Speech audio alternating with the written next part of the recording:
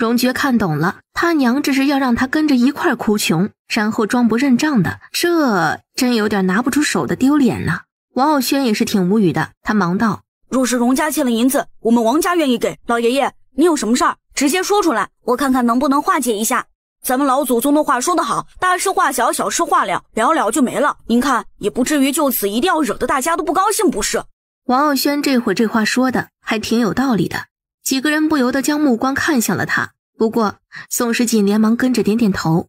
对，如果是银子的事情，这位王家的小少爷有银子的。剑老的眼睛微微一眯，刚才他就在一旁观察着眼前的这位女子的，这原来就是容易的妻子啊！原本他还以为容易能娶名什么样的媳妇儿，这会看起来真的跟容易一个样子，都是贼精贼精的，这骨子里两个人可是像透了，一瞧就挺差不多的。剑老忍不住翻了个白眼儿，他这回也算是明白了，这容易的媳妇儿是个什么情况。这倒也挺正常不过了，好像如果媳妇儿不是个厉害的，那又怎么可能拿捏得住那个贼精贼精的容易呢？这一对夫妻俩平日里八成都是在互相拆台的吧？他的眉头微微皱起，看着眼前的容易媳妇儿：“你相公欠我的不是银子，而是人情。人情不是银子呀。”那就好说呀，老人家快请进来，咱们有啥人情不能过的呀？您进来我这院子里说，人情就得用情来还，反正吃人嘴软，拿人手短。他先把人给请进来，说上一些好话，做上一顿好饭，听他慢慢讲就是了。容易这混账东西，也不知道在外头惹了什么事儿，这会儿让人家都找上门来了，他还不能不当一回事儿。等容易回来了。他再找他好好的算算这笔账，怎么也得跪上个三天三夜的，一天三顿饭，一天三顿打。老人家，您请进来坐吧。宋时琴瞅了眼自己的儿子，还被眼前的老人给抓着的模样，轻咳了一声，提醒了下：“ 这样一直抓着三个孩子，不是会让自己很累的吗？不如您也好好休息一下，省得一会儿胳膊该累了。”荣爵连忙点点头：“对对对，先把我们给放下来吧。”王傲轩这会儿也不吭声了。说实话，他们已经被拎了好久了，那脖子都有点酸了。老夫都不嫌累，你们三个娃娃倒是金贵。荣爵和王傲轩还有牛蛋儿顿时也不再说什么话了。万一一会儿真的要被他继续给折腾着，那就有点不大好安排了。呃，老人家可是有什么要求？您说了，我们家一哥欠了您的人情，也不知道到底他这是欠了您什么人情啊？若是能说得清楚的话，还请您直接对我说，我能帮忙去做的就一定做。你这女娃娃倒是瞧着有几分乖巧听话，你这女娃娃倒是瞧着有几分乖巧听话，倒也不会跟那个混小子一样跟我玩阴的。那是，我可是很老实的，您只要愿意直说，我一定是乐意帮忙的。人情的事情先放一放。我听混小子说了，你会做饭？嗯，还行吧，至少还是能吃的。呃，老爷子，您这会儿坐着，我这就去给您做好吃的，您等着啊。这老头一开口就说起这个，宋时锦哪里还能不明白是个什么情况？这会儿只要能做一顿好吃的，这事情那可是就会很轻松的解决了。宋时锦进了厨房，荣爵立刻就跟了进来。娘，这老头要吃的，您就给他做。不然呢？眼睁睁的看着你继续被人家给拎小鸡一样的拎着呀！可是他这什么情况，您还不知道呢。管他是什么情况呢？只要现在不打架什么的，那就好。你没看得出来人家很厉害啊？这点我瞧出来了，要不然我也不至于会被人给这么抓着啊。那我不早跑了？对呀，你既然都知道这一点，那也应该很清楚，娘这是要帮你，所以这会儿你就别乱想了。你这既然回来了，一会儿我做的好吃的你也跟着吃点，连着轩哥跟牛蛋儿也让他们留下吧。哦，知道了。那我先让王傲轩和牛蛋儿回家一趟，跟他们家里人都说一声，也省得他们家人着急。既然有娘来处理这事儿，八成也不会闹得多大。他娘这人的实力可是很强的，这点容易很有信心。毕竟连他爹那样的人都能拿得下，那其他的人还能处理不好啊？荣爵跑了出去，找到了王傲轩跟牛蛋儿，说了这事儿，让他们先回家报个平安。你确定你娘能处理得过来？用不用得着我回王家多叫点人？不用，这老头的身手厉害着呢，我看八成你叫多少人来都不成，我爹都不是他的对手。用正常的方法肯定是不行的，你就别瞎折腾了。王傲轩一想，倒也是这个理儿。他们如今都是有几分世面的人了，倒也知道点事儿，很清楚这老头的能力，那可不是王家的几个护卫就能怎么样的。王傲轩只能先回去一趟报个平安，让王家的人不要前来惹事儿。至于牛蛋儿，他只问了一句话：“你娘一会儿真的做好吃的？怎么了？”嘿嘿，你给我留点啊！俺回去跟俺娘说一声，就立刻过来。你个吃货！娃娃，你这会儿还站在这儿，怎么不怕我了？剑老把这院子给瞧完了，一时没什么事儿，就找荣爵聊起了天。我一开始也没怕你呀。为什么不怕？你又不会把我怎么样，我为什么要怕？你怎么知道我不会把你怎么样？这还有什么好想的？如果你真的要动手，一开始就动手了，何必这么多废话？你又没有把我怎么样，而且到了我家来了，也没有将我娘怎么样，只说了要点吃的，这本来就不算什么的，我自然也不必怕什么。如果一个人存心要寻仇，哪里会这么好说话？要动手早就动手了，这会儿还用得着这么好脾气的坐在这儿？所以在我看来，你八成是对我爹不满，估计有被他给气到是真的。最多过来我家做客，倒也不会怎么样的。剑老这会儿笑了起来，这小子果然如容易所说的那般，的确聪明的很。这样反而让他更觉得有些惜才了。有道理，我呀就是过来做客了。荣爵听到这话，这才松了口气。他小大人一般的，这会觉得自己也该劝劝眼前的剑老。其实吧，老人家您啊，别跟我那个爹一般见识，他有点不是东西。那个人就是那样子，您啊就心胸宽广点儿，就把他说的话不当一回事儿就行。嘿，你这小子就这么评价你爹的？你爹还不说你不孝？呵呵，我要是不孝，那也是被我爹给逼的。在我爹眼里，那根本就没有我。你瞧瞧他做的事儿，有把儿子就这么卖了的没有？这大概是您见到的头一个吧？监牢瞅了一眼荣爵，倒是点了点头。这个说的倒是实话，这种事儿我还真的头一回见到。你这小子也的确是被你爹卖给我的，这也是我头一回见到。哼，这不就得了？所以我还有什么好说的？他对我都这样，对你能好了？所以啊，你有什么气就尽管撒到他的身上，别被他给忽悠了。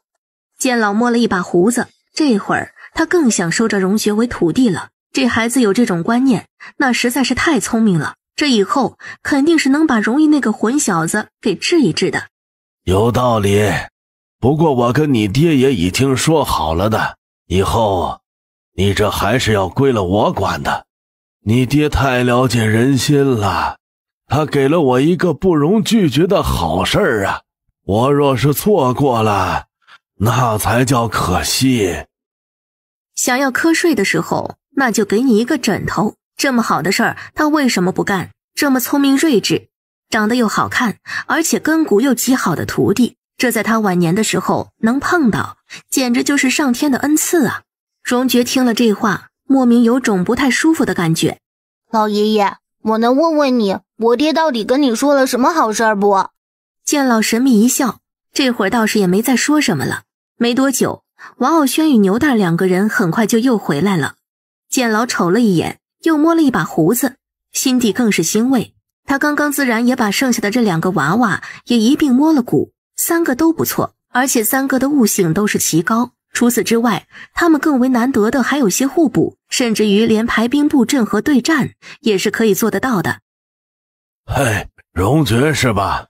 还有你们两个，这会儿你们三个既然到齐了，现在就跪下来，给我磕三个头。我先开始教你们一些，过了几天，你们再一道对我行个拜师礼。老夫这纵横一辈子，如今倒也算是后继有人了。剑老心底汹涌澎湃，表面上他的表现还是比较淡然，可内心却在此时是无法隐藏的激动的。荣爵、王傲轩与牛蛋三个人面面相觑，这老头发的什么疯啊？什么拜师礼？我们没打算拜什么师傅啊！王傲轩有些傻眼着道。他这话才一说出来，剑老随手就捡了根树枝，直接敲在他的脑袋上。以前没有，从现在这一刻开始，你们就有了。王傲轩的头这会儿疼了一下，他立刻摸了下自己脑袋，这会儿还是有点懵的。这个老爷子，你要收我们三个当徒弟？嘿嘿，没错，跪下磕头吧。荣爵和王傲轩一脸无语，牛蛋冷哼了一声，这会他倒是很有骨气，不跪，凭什么要跪下磕头啊？我就是不跪。他这话才刚刚说完，站在他身边的荣爵和王傲轩两个人却是扑通一声，已经跪在地上了。不跪就挨揍！你们两个就不知道提醒我一下，自己跪了，害我一个人在这挨揍。而且你们也太没有骨气了，人家让你们拜师，你们就拜啊！他实力那么厉害，还是我爹给叫过来。你觉得我爹认识的人能差得了？呃，好像有几分道理啊。既然是荣爵的爹决定了的事情，你不管怎么样否定都是没有用的，还不如安心的听话。这两个人真损。牛蛋倒也是个聪明的，这回也大约知道自己以后的处境了，二话不说，直接跪了下来。师傅，徒弟牛蛋给您磕头了。王傲轩与荣爵在一旁也跟着磕了头。这也是跟荣爵他爹娘得到的一点感触，像是这种情况，磕头才不算丢人呢。只要是对自己有利的事情，就算是多磕几个，那又怕啥？见老瞅着眼前这仨，心底笑开了花，这表现更不错呀。一瞅这三个这种表现，就知道他们还不是死板不通事儿的那种，这种自然是最好的。行了，你们三个都起来吧，以后。你们清楚自己的身份，我让你们做什么，你们就得做什么。三小只点点头，一副特别听话的样子。剑老刚收了徒弟，这会儿心情正好着，也不着急对他们进行训练。这会儿的剑老想的只剩下一件事了，也不知道这容易的媳妇儿那做菜的手艺到底如何。荣爵，去厨房帮忙端饭。老爷子来吃饭了。老爷子您请。吃饭的时候，老人先动筷，这是规矩，也是对长者的尊重。这味道真不错呀，本来闻着就很香，入口之后不油不腻，满舌头都仿佛被这香气给笼罩了一样，好吃。娘，他让我们拜他为师，我们已经磕过了头了。原来是荣爵的老师送上门来了呀，这应该就是容易做这事的目的了。给荣爵找一个夫子，这事也的确是挺重要的。夫人，这位老爷子的身手很好，有可能不比夫人差。老爷子，您尝尝这个，这个味道也不错的哟。剑老眼睛一亮，倒也是丝毫不客气，毫不犹豫的直接就塞进了嘴里。剑老对着宋时锦竖起来大拇指：“你这菜做的味儿很正宗。既然老爷子喜欢，那就多吃点。您还想吃什么，尽管说，只要是我会做的，一定认真做好了给您尝尝。”剑老点点头，倒是什么话都没再说，毕竟也没啥意见了。好徒儿，这里有三个，连吃的东西也这么好，他还有什么好求的？宋时锦眼瞧着剑老这个态度，又知道他已经收了自己儿子当徒弟，以后那自然是要用心教导的。他这会儿已经把眼前的老人家给当成是自己人了。布布，你跟木木两个先随我一道去容易的房间一趟，我们将房间的被褥整理一下，以后就让老人家住在那间房。那这主子回来了，要住哪儿？自然是跟着夫人一起住啦。他们两个之前就一直睡书房的。布布早就听了牛二嫂说了不少的荤话，倒也知道点儿之前的事儿。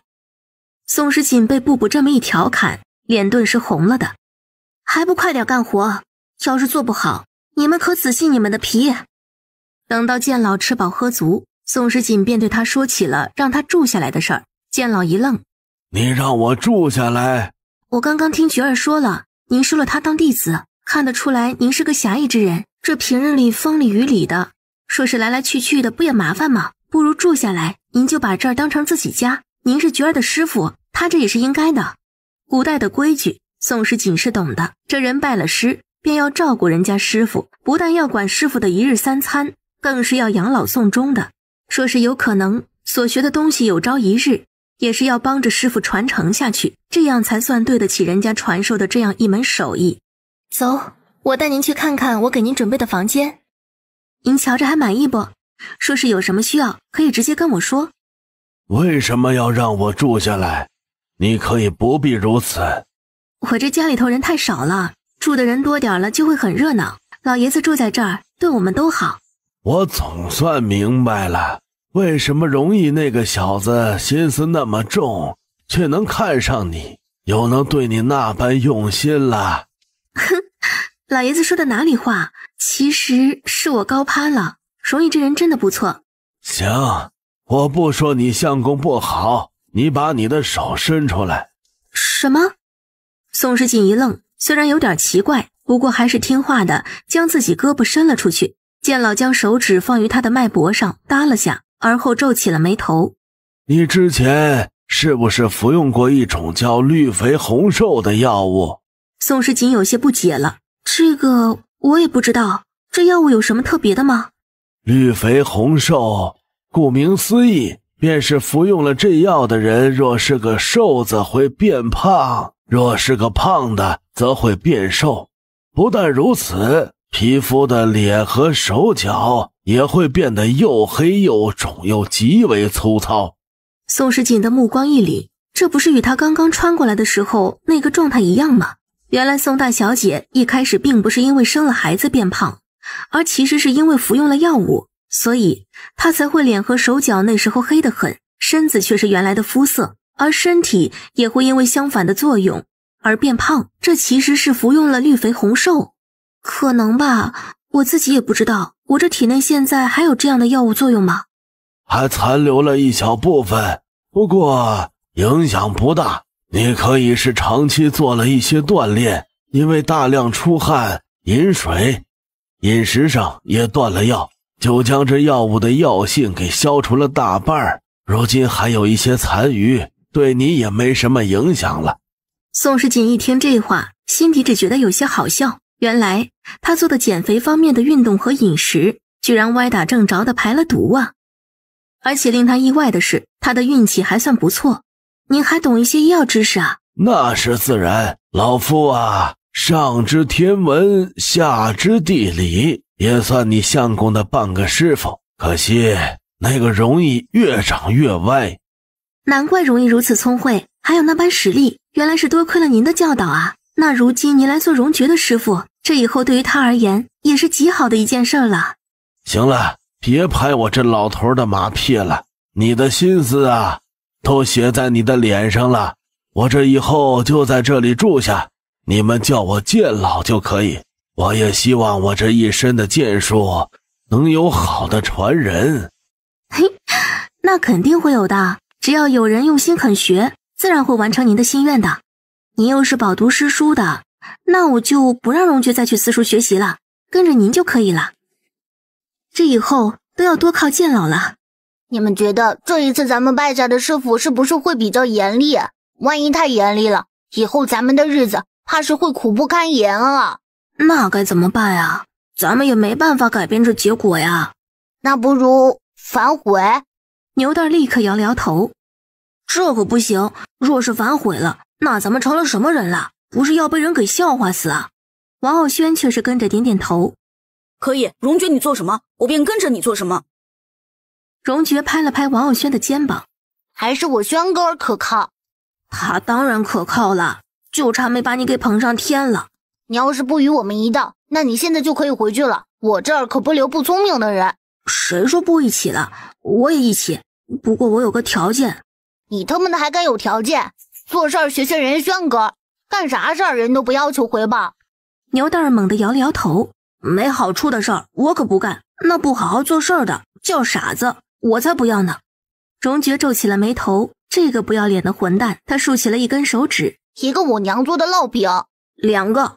荣爵翻了个白眼儿，就一个，爱干不干。牛蛋儿立刻怂了，好好好，我跟了。接下来你做什么，我跟上。嘿，这才是我的好兄弟嘛。其实咱们也不是说话不算话，更不是做事不靠谱，一定要推翻自己的承诺。咱们这纯粹是正常思维。如果答应下来，却是要被人给害了，那自然是不能硬撑的。这硬撑下来，那最后被整死的还不是咱们自己？反正不管说啥，你记得一个烙饼，你他妈就知道吃。好好好，保证给你安排。你这尽管放宽了心便是。就在这三个人都想好了，接下来要做的事儿的时候，忽而耳边传来了一道声音：“你们三个过来。”牛蛋心想着那块烙饼，便先行一步到了剑老的跟前站着了。荣爵与王傲轩也跟了上去。剑老见到牛蛋最先，唇角勾了勾，而后一指荣爵：“你来的太慢，一旁马步新蹲两炷香的时辰，你们两个剩下的蹲一炷香。你们蹲完了，监督着他去做。一会儿完成了，过来找我。”荣爵无语，牛蛋痴痴的笑了。荣爵这个贼精的，总算是遇到了个厉害的了。这老头正是荣爵那小子的克星啊！荣爵有些傻眼。虽然惩罚对他来说不算太难，可这也有点儿怎么说呢？小小的丢人呐。话说他还不至于就这么被折腾一通吧？也的确是有些郁闷来着。荣爵最后被罚着蹲了两炷香，对于他来说并不算难。他平日里蹲马步那可是习惯了的，早就已经练得很纯熟了。王傲轩与牛蛋儿先蹲完了一炷香，他们都是练过了的，不过平日里练的并不算多，这会儿蹲着起来了。腿还有些打颤，总算是蹲完了，咱们该监督荣爵了吧？这小子难怪天天被荣爵给欺负，就是人比较傻了点我继续与荣爵一起再蹲一炷香，反正监督着他也没什么事儿，倒也不如蹲完了的好。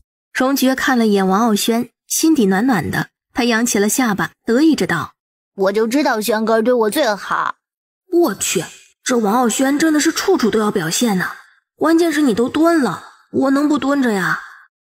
牛蛋一咬牙，想了想他的烙饼，又想着不能让荣爵这混账小子赖账，便跟着也蹲了起来。三个人都蹲完了两炷香，那腿都快不是自己的了。牛蛋两腿已经颤得快抽风了。他平日里好偷懒，这一次却是为了自家兄弟，呃，其实是为了烙饼。他居然坚持完了，连他都不得不佩服起自己来，就是腿真的直不起来。基础功如此之差。以后每天蹲着马步听我读书，我读一句，你们念一句，读完后背诵，每天背诵三百字，第十日复查，未曾遗忘者休息半日，忘了的重新再背。十日算是三千字复诵，而且也算是反复记忆了。每日某时起床后，热身后跑山。早餐后开始蹲马步背书，每天的安排皆是如此。晚饭后虚实亥时继续，不过不用背书，只做检查背诵情况和学习剑术。若要这么练习，那我们还怎么去私塾上课呢？你们被我从私塾带回来这一刻开始，还想啥继续去上课呢？别想了，以后就好好的跟着我练剑。荣爵他娘，话说这剑老是不是练的有点狠了？咱们这孩子可是以前都没有吃过这样的苦啊！苦倒是真的挺苦的，不过眼瞧着他们仨还能承受得了，你也尽管放心，我瞧着大体是没什么的。他们这样训练训练，以后指不定还能有所成就，这倒是以后能让我们这做母亲的放心了。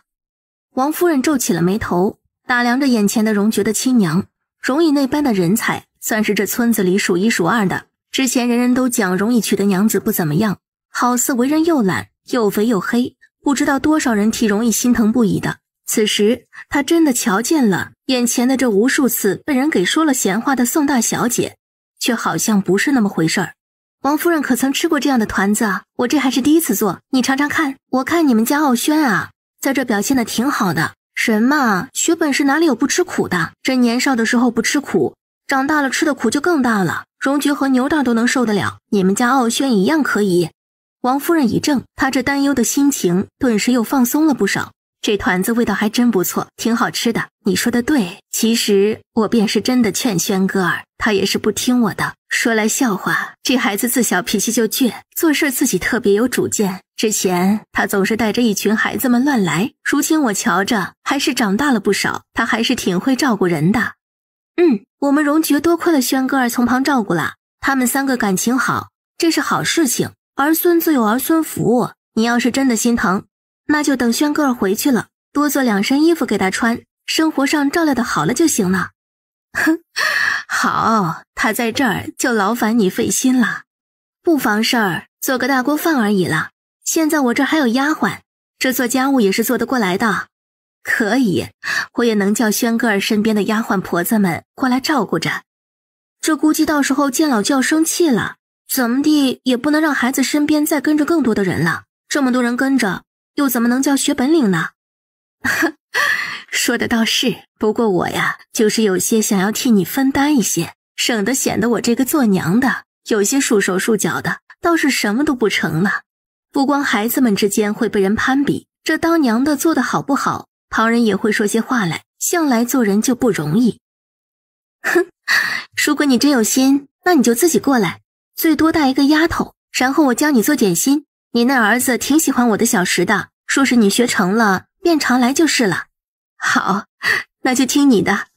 宋小姐，窈窕淑女，君子好逑。你若是不开门与我相见，我便在此日日吟诗以诉衷情。宋小姐，落花有意，你这流水不能无情啊！爵哥，这怎么回事？外面叫的宋小姐是谁啊？这里头只有我娘一个人姓宋，你说这叫的还能有谁？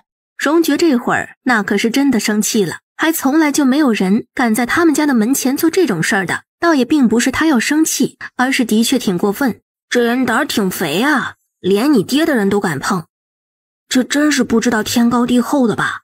我可是真替他捏上一把冷汗。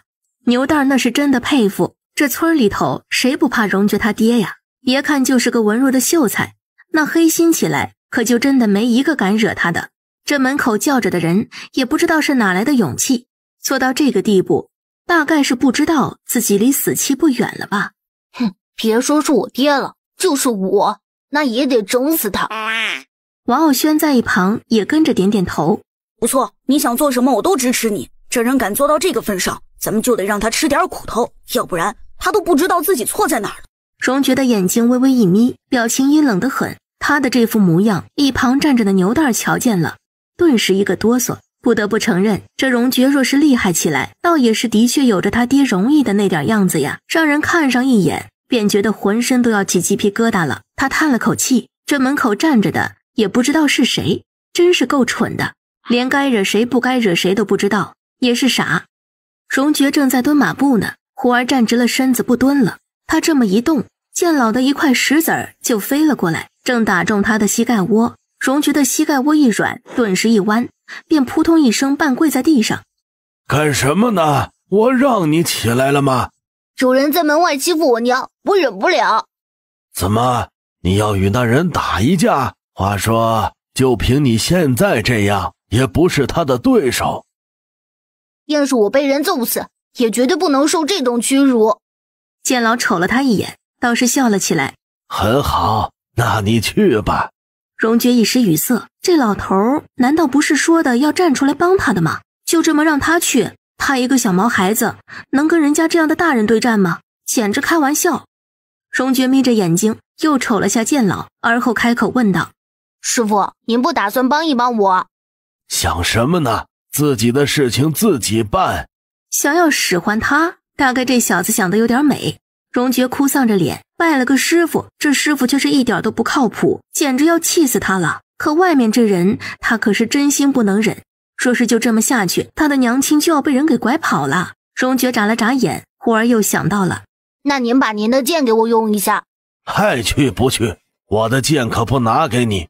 荣爵没想到自己的心思全被这师傅给猜得一清二楚，这整得他这会儿可真没辙了。刚刚就是你们在这儿乱吼乱叫的。荣爵上前就直接开口问了起来。他这么一开口问着，直接让眼前的这几个人都跟着一愣。居然不是大人过来，而是个小毛孩子，这倒是让人觉得古怪的很。荣爵指了指为首的，眼瞧着就是个头的，直接开了口：“就是你想要在这个时候捣乱，你这胆子也够肥的。”为首的男人瞅着只有自己半截那么高的荣爵，有些傻眼。这么一个混账小子，那是哪来的？走走走，哪里来的小子？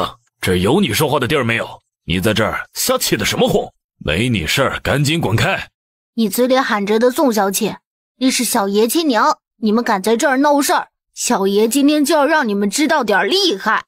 宋时锦原本是要直接出手的，只是后来一想，荣爵也在，正好看看荣爵要怎么处理。他又料想到荣爵会义愤填膺，或者会愤而出手之类的，却怎么也没想到荣爵的表现与他想象中始终是差距有些大。好像这荣爵满身匪气的样子，这小爷的称呼他都是跟谁学的？宋时锦一时傻眼了，都忘记这会上去自己主动处理了。你是宋大小姐的亲生儿子？这个小子，这到底是哪儿来的？不过从外表上来看，这臭小子倒是真的长得极其好看，而且这个小子的胆子还特别的大。又瞧着一脸聪明的样子，别说，倒是真的很有可能会是宋大小姐的儿子。那当然，你这个乱在旁人家门口吠叫的狗东西，还不快点过来给小爷磕头！你个臭小子，敢这么骂我？我看你是胆子太大了，不知道自己什么德行了。给我等着！你们还愣着做什么？把这小子给我抓来！我要好好教训教训他！男人气得直接叫了自己暗卫们过来，就要抓荣爵。宋时清眼瞧着儿子就要被欺负了，正要上前，却被剑老给拦住了。夫人，我知道你的身手好，不过此时可不是你出手的时候。荣爵得受点教训，他才能成长。宋时锦微微一愣，倒是立刻反应过来了，说的是他是关心则乱了。老爷子说的是，是我这个做娘的有点急切了，这的确还是需要再等等，我倒也不必急。见老点点头，放心，老夫不会让徒弟白白挨揍的。这话说的，宋时锦不由得替荣爵点了根蜡。见老看样子，那是已经想好了，要让荣爵吃点亏，挨揍是必然的了。你们放开我！你们快放开我！放开你！你敢辱骂本公子，今天我就剥了你的皮！把我的鞭子给我拿上来！我要让这混账小子知道知道我的厉害！啪的一下，他扬起了鞭子，就是一下，重重的抽在了荣爵的身上。荣爵的衣服直接就被这带了刺的鞭子给划开了道口子。那鞭子上可是有着各种各样的倒刺的，这会落在荣爵的身上，衣服自然是保不住，当然还有他的皮肤也跟着划拉了一下，疼，难以忍受的剧烈疼痛瞬间袭来。荣爵咬着牙，居然忍住了，而且完全没有叫出声来。剑老的目光中微微闪烁出几道赞赏来，宋时锦却是直接背过了身子，听到了鞭子声响，也知道荣爵已经在此时被这鞭子给弄受伤了，他的心跟着就是一抽一抽的疼。很好，这鞭子我记住了。你们如此对待我的儿子，回头我也必然要让你们为此而付出代价。抽我儿子一鞭。你们便得偿还两鞭。嘿，这小子倒是脾气够硬，倒是也还有几分骨气，看不出来这倒是挺硬气的。不过这会儿也不知道你又到底能坚持多久。宋大小姐，怎么样？你这个当娘的就这样子什么都当没有听见？我一会儿若是把你这儿子给打废了，你是不是也只当什么都不算事儿啊？看不出来，你这个当娘的倒是挺狠的心呢。宋氏紧闭着双眼，他没有回话。他也能感觉到荣爵在看他，他生怕自己在看向荣爵的时候，会看到那孩子埋怨自己的眼神。嘿，你少在这里说我娘，不过就是你一鞭子，我皮糙肉厚的，才不怕被打。我娘说了，做人不能丢骨气。娘，你不用担心儿子，我不会给你丢脸的。荣爵咬了咬牙，疼是真疼，肌肤之痛也的确疼，可他更怕娘会被人给欺负。他是来给娘出气的。不是要让娘心疼的。荣爵越是这么说，宋时锦越是无法忍受了。他立刻转过了身子，目光紧紧的盯着荣爵。剑老，我还是会心疼啊！说完这话，他没等剑老反应过来，便立刻朝着荣爵冲了过去。他直接走到荣爵的跟前儿，看着他破烂的衣服和被打红了的皮肤，心疼的眼泪都快掉下来了。爵儿，你一定很疼吧？这鞭子，娘应该帮你受着的。娘，我是男子汉大丈夫，该我承担的，我一定不会不承担的。你别这样，娘，你看我，我坚强的很呢。荣爵被宋时锦抱着，心底极其的高兴。不过这会儿的他还不忘记悄悄的给他娘说点好听的话。娘，你别担心，这种鞭子我爹都打过我的，我之前一个人出门调皮也挨过抽呢，都没啥事儿。娘，我可不疼，一点都不疼。宋时锦一句话也不说，目光凶狠的看着眼前的这几个人。此时的他满腔的怒火已经开始在缓缓的升腾起来了。你这么看着我做什么？我可告诉你，那只能怪你儿子自己惹事跟我没什么关系。宋大小姐，你的确很厉害。可是你再怎么厉害，你也只是一个人。我这里有这么多暗卫，而且实力还是之前那几个人好几倍。你觉得你能比得了吗？眼前的男人冷笑起来，说着，他拍了拍手，身后果然很快有十几个一身护卫打扮的高手暗卫们瞬间出现。他们个个都站在了男人的身后，目光冷漠。我上一次被你给讹诈了七千两，这可是极大的耻辱，我怎么样也得一雪前耻。宋大小姐，这一次我看我要教训你儿子，你又能怎么拦我？哼，有没有人告诉你，越是狂妄的人，下场越是凄惨？你以为你自己能胜利，其实你自己最是可悲。我总是要提醒你一句的，不要太把自己当成一回事儿。或许你根本就不算什么，连给人提鞋都不配。宋世锦的目光扫视了一圈这些个暗卫，周身的气势更为冰冷。荣爵都仿佛感受到了这种强大的杀气，不由得抬眼看了看身边的母亲，不是错觉，这种气势真的来自于自己的娘亲。为什么娘亲身上的这种气势，竟然仿佛比眼前这些个看起来很强壮的护卫们还要厉害？他的娘亲到底什么来头？很快，那几十个暗卫瞬间将宋时锦给围上，就要出手之时，忽而一道声音响了起来。一柄长剑走江湖，千篇诗文醉茅庐。路遇不平三二事，斩尽无情世间人。宋时锦有些无语，这剑老出场还自带 BGM 给他资格，整个气氛烘托着的吧？果然大佬就是大佬啊！这可是真的叫一个与众不同呐！邻居男人皱起眉头，而后等到看清楚了。这会儿，忽而就哈哈大笑起来，手指着剑老，得意着道：“还他妈念诗呢，搞笑！我以为是什么人呢，还念了一首不怎么样的口水诗。你这是干啥呢？显摆也不是你这么显摆的吧？”他的嘲笑的话语刚刚说完，忽然眼前一黑，而后脸上便立刻感觉到了重重的一下，仿佛是什么直接打中了他的脸，这让他不由得一懵。等到反应过来，剑老此时就已经站在他的面前了。我操！你这个老不死的，竟然敢打我！他才又骂了这么一句，眼前的剑老二话不说的，直接又是一个巴掌呼了上去，这回更为响亮，更为清脆。你敢打我？打的就是你，敢对长辈无礼！你这个娃娃，看来就是小的时候欠了教育吧？居然敢这么跟长辈说话，小时候规矩没学好。大了，我就让你知道得罪了人该怎么被教育。你你你放肆！你们都他妈的是废物是不是？就看着本少挨打，一个个就只知道在这里站着。他这么一开口，旁边的暗卫们这会儿也仿佛是意识到了什么，也不敢在一旁站着瞧热闹了，连忙冲了上前，终于也算是知道来帮忙了。娘，我这个师傅要被人给围上了。他这年纪大了，也不知道有没有能力躲得开。荣爵此时自然是紧张的，这会的他可是挺担心剑老的。你不是还不大喜欢剑老训练你的吗？之前还不大情愿的。哎呀，娘，这能一样吗？这会儿剑老跟咱们那可是自己人，他是帮咱们的，我能不知道谁好谁坏？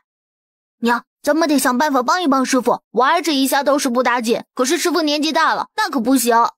宋时锦听了儿子这话，心里头倒是几分放松。看来他和容易的教育还算不错，这孩子最起码还懂得道理。你师傅聪明着呢，这点小事儿他可不怕。要是他觉得不行的话，那一开始就会收手了，哪里还会等到现在啊？荣爵微微一愣，而后似乎有点明白宋时锦说的这话了，好像是有那么几分的道理。果然，那群的暗卫们这会听了邻居男人的话。这会一窝蜂的就朝着剑老冲了过去，眼瞧着他们似乎还是挺厉害的，而且一个个也的确水平比之前的那一波暗卫都强多了，只是却奇奇怪怪的，明明冲到了剑老的跟前儿，却始终都碰不到他。荣爵简直看呆了，同样看呆了的，当然还有这会儿站在门口的王傲轩和牛蛋两个人。牛蛋都顾不得关心荣爵，这会儿被剑老的英姿给震撼了。王傲轩。咱们这是不是真的拜了一个特别牛的师傅啊？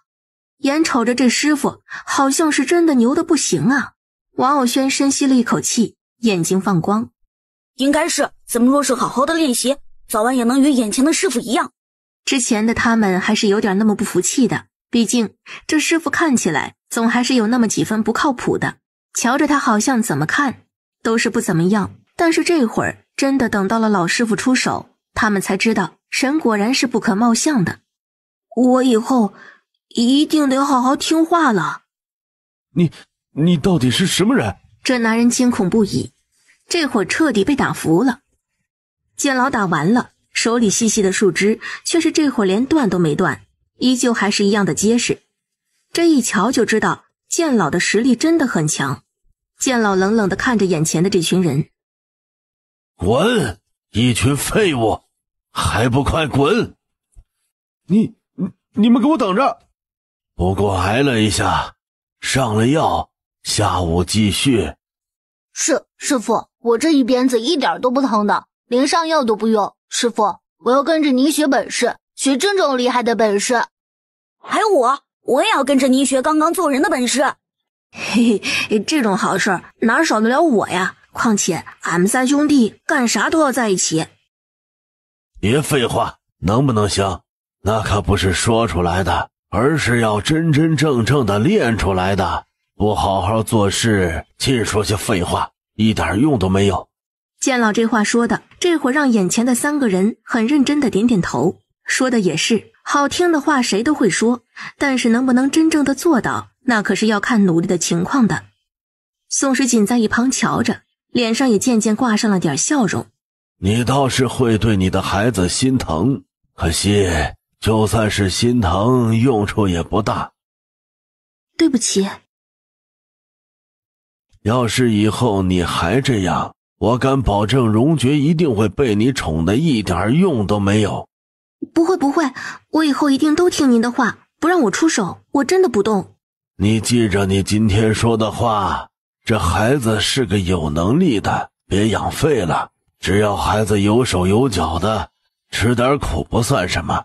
那在军队里训练出来的好兵们，哪个不是摸爬滚打出来的？别太溺爱了。宋时锦连连道歉，他这个当娘的可不敢拿瞧。要是真的一瞧孩子吃苦，就把火气发到剑老的身上，那这孩子以后谁还敢教啊？剑老见宋时锦还算上道，也算是接受了他的意见，又虚心的被他给教训了一顿，这才罢了。这丑话他也得说到前头，总不能这会儿不说，以后出了问题再闹矛盾，那样反而不好看了。教育孩子就得家长和师傅一道使力。怎么了？看你这副样子，就跟被人给欺负了一样。说话，你这到底是怎么了？我以前始终不懂，我为什么要努力做事，要好好表现。因为爹常常对我说，旁人的看法并不重要。你爹说的不错呀。荣爵皱起了眉头。那既然别人的看法不重要，那我努力又有什么用？这个总是要为了让自己变得更好的吧。可是如果我不想让自己变得更好，我觉得我现在就已经很好了呢。王傲轩有些无语，这个荣爵果然就是个死杠精，怎么说他都有的杠。王傲轩这会儿是真的不知道该怎么回答他了，反正怎么回答他，他都能有话对。嗯嗯，那你刚刚说话的意思就是你想通了，知道为什么努力了？当然，原来我一直要努力的理由只是要为了我娘。你高兴就好，其实什么理由都是自己说服自己的。每个人努力都有属于他自己的理由。只要最后的结果是好的，管他理由到底是什么，其实一点都不重要。我也有努力的理由，不过跟我家人无关，只是攸关一个承诺。也许对旁人来说无关紧要，对当事人来说也无关紧要，可是对我来说却是很重要的事情。因为这样的一个理由，让我觉得自己忽然之间有了价值。这样的价值可能比其他的事情都要来的重要的多。王傲轩后面的话没有说出来，倒是牛蛋在一旁说话了。我也有努力的理由，好吗？我要好好努力，争取以后每天都能多吃几顿好吃的。王傲轩与荣爵顿时不想再聊天了，两个人看了一眼牛蛋儿，而后无语的很。当你人生很抑郁的时候，你可以看一眼牛蛋儿，你就会觉得，原来有人真的可以活得那么没心没肺，无所畏惧。傍晚时分，牛二嫂前来探望自己的儿子，看到牛蛋儿累成了狗。满眼含着热泪，却还要坚持努力的模样，牛二嫂的眼睛顿时睁大了。牛蛋儿还是挺认真的，您可别。这就对了，就得这么干，让这个小子平日里给老娘惹事儿的，这会儿总算是有人收拾他了，就让他多吃点苦。金娘啊，别嫌这孩子嫩，我跟你说他皮实着呢，不听话就抽，放心，没事着呢。宋世锦有些无语，牛二嫂这当娘的，那可是对孩子一点都不溺爱啊！你这真的不心疼这孩子辛苦？我都瞧着挺心疼的呀。哎呀，心疼什么呢？我跟你说，不打不成器。这孩子啊，生下来哪一个都是混世魔王，可没有一个生下来就会听话。那不看着他，一个不小心，一回头就把你家给拆了。好像有这么几分道理啊。所以说，本来这孩子生来就该管教的，大了十来岁了，让我管我都不管。但是这会儿这年纪，就得吃点苦头，棍棒之下出孝子呗。其实我也不懂什么大道理，我呀，这都是经验之谈。对啊，我以后还是得跟着二嫂您学着点儿。那还是算了吧，倒也不是你要跟我学习，是我要跟你学才对。我们家那口子，他可是说了的，要让我向着你学习呢。那好啊，咱们两个互相向着对方学习就是了。不多时，王村长的儿媳妇王夫人也来了。她将宋时锦上一次说的话给放在心底，这一次还真的算是记着了。只带了一名平日里话少、能力很强的婆子前来。牛二嫂瞅了一眼，也认了出来，眼睛顿时睁大了。这王村长家的儿媳妇儿怎么也来了？是来找你的？嗯，她是轩哥的亲娘，这会能不来吗？跟你担心牛蛋一样，她这会自然也是在担心自己的儿子。说的倒是，看来轩哥的娘亲还是挺靠谱的。王夫人看着是个挺有身份的人，可却并不是什么脾气性格不好的。反而这回有机会跟牛二嫂聊天显示出了他作为村长家人的情况。牛二嫂只是跟他聊了几句，便觉得这王夫人情商挺高。瞧着其实与霍安若挺类似的，都是话少却温柔爱笑的人。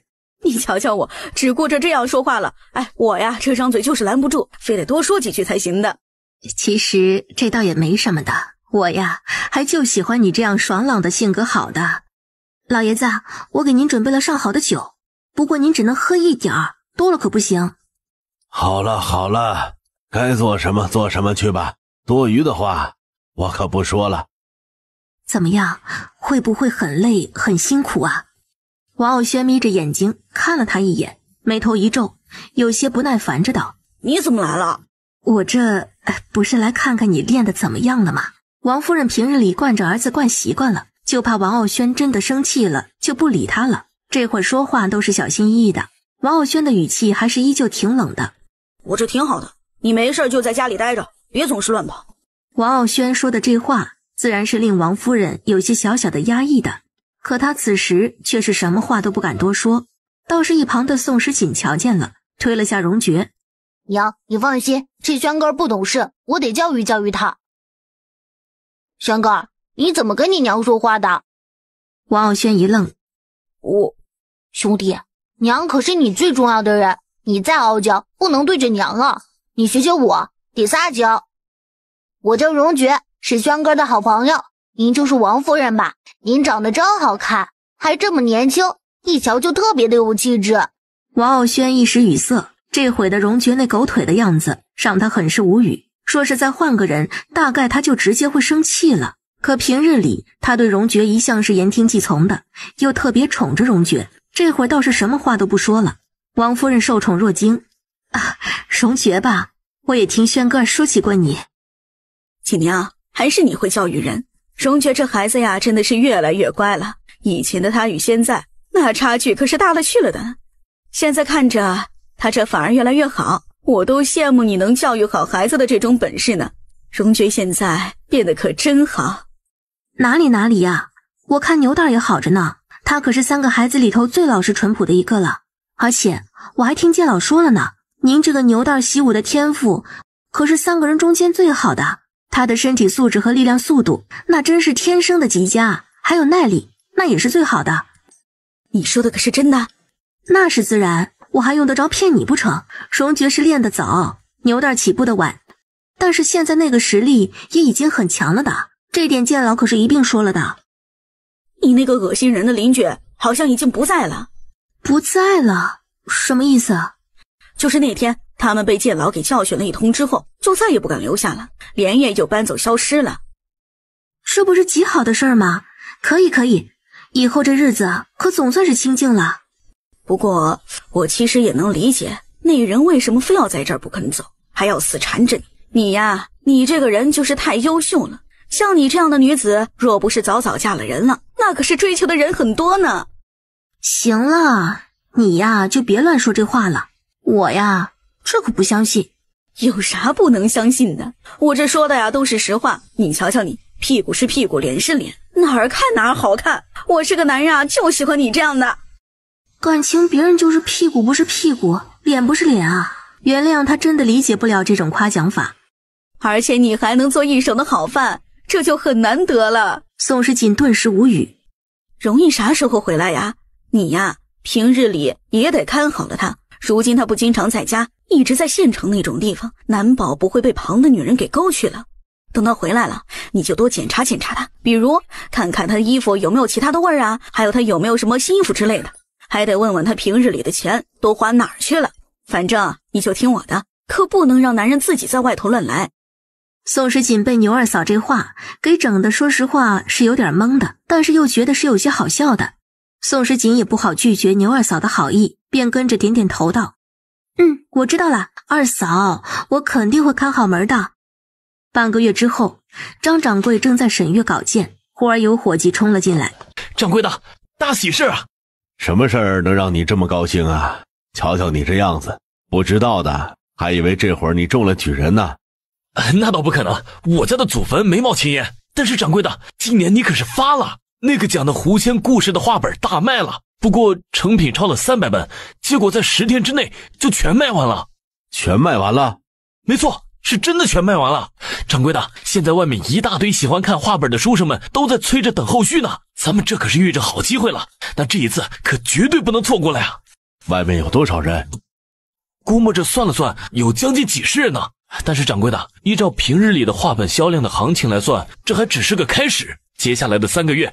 这画本可能会人传人，口碑越好，效应越好。到时候这画本可能看的人会更多。伙计兴奋不已，难得遇到一本卖得好的。这书店的画本卖起来，那也是要看天时地利人和的。有些画本不温不火的，也就只能是刚刚好小赚一笔；可有些画本就会莫名其妙的，人人都喜欢，而且一出手就立刻卖得极快。我早知道这画本一出。定然会有好的结果，只是没有想到这结果居然来得这么快。你立刻找我们所有的抄写画本的写手们，给加上一点钱，开始让继续抄，一定要再多抄三千本，一直到卖不动为止。好嘞，掌柜的，就等您这句话呢。哦，对了，赶紧备马车，我要出去一趟。夫人，薛夫人来了。安若，快让他进来吧。我看你家是越来越热闹了。终究是忍不住过来，也凑个堆儿。毕竟一个人在家挺无聊的，无聊了就来我这串门就好。我这啊，随时给你留着门呢。这是我做的，你也尝尝，看看味道怎么样。我做这道菜还是跟你学的。我们家老薛总是说我做的味儿不正，正好我就过来让你试试了。宋时锦与霍安若坐到桌子旁，尝了尝他做的料理，然后点点头。这味道还行，不过呀。你肯定是放醋的时候将时间整错了。其实这个可以稍微等一等，快出锅的时候再加。难怪我始终做不出你说的那个味道，原来问题就出在这里呀！这一次你提醒我了，那下一回我就不会再出问题了。妹妹是在练字的吗？嗯，倒也不是，我其实就是挣点小钱。对了，艾瑞姐，你应该是识字的吧？嗯，认字倒是的确认得起个的。那倒是正好，姐姐可以帮我看一看的。看看，对。我其实是在给书店写画本，但是也不知道这本子写的好看不。正好安若姐你也识字儿，不如就帮我瞧瞧呗。你你写画本？嗯，是啊。其实我的水平可能不怎么样，我就是想要多挣点钱，毕竟希望自己能有多点收益之类的。还请安若姐你帮我瞒着点儿这事儿，我也不想让其他的人知道。